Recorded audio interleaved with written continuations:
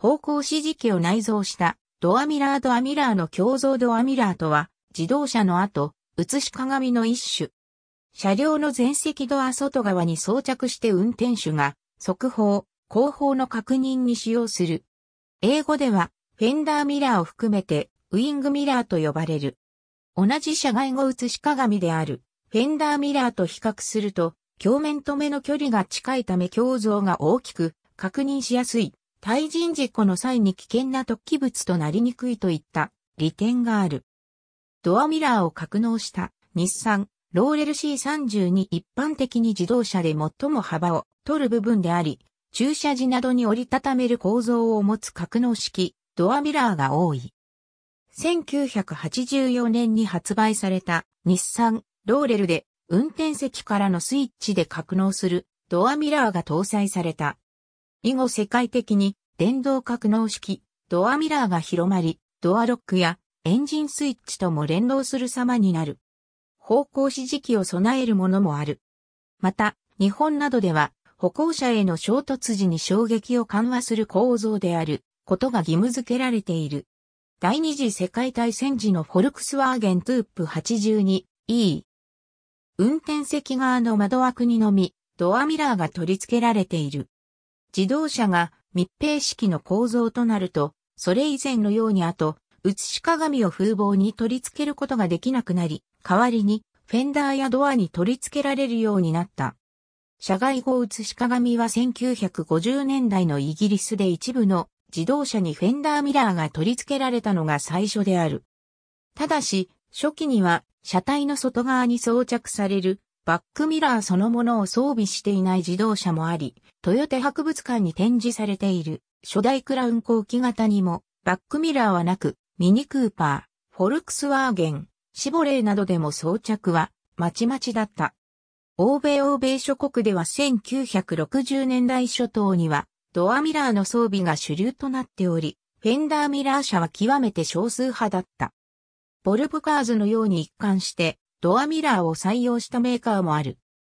日本日本では1983年までボンネットのないキャブオーバー型車両を除いて外部後映し鏡はフェンダーミラー以外認められなかった時期がある。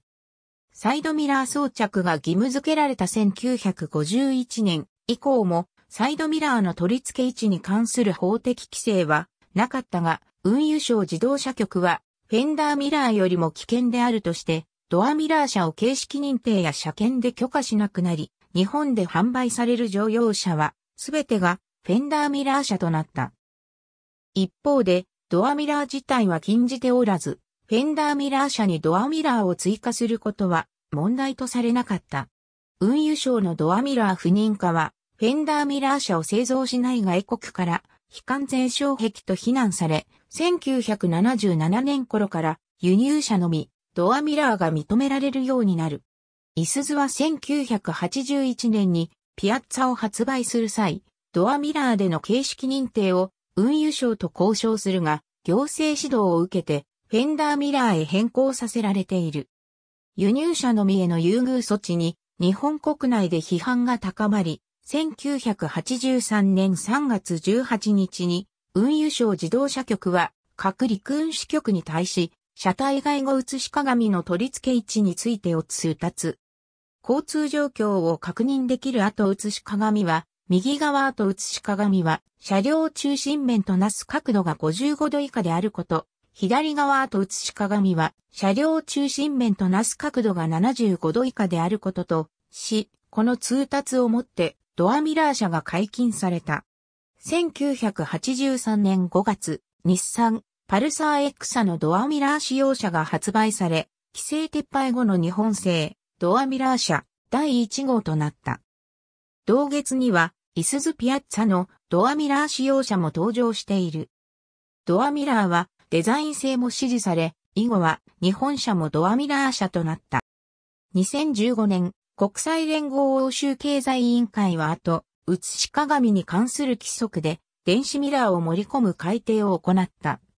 日本でも2016年に道路運送車両の保安基準が改正され、基準を満たす場合には、従来の後、写し鏡を装備しない電子ミラーのみの車両が認められることになった。2018年10月、レクサスは日本向けの新型レクサス ES に世界で初めてデジタルアウターミラーを採用することを発表。ありがとうございます。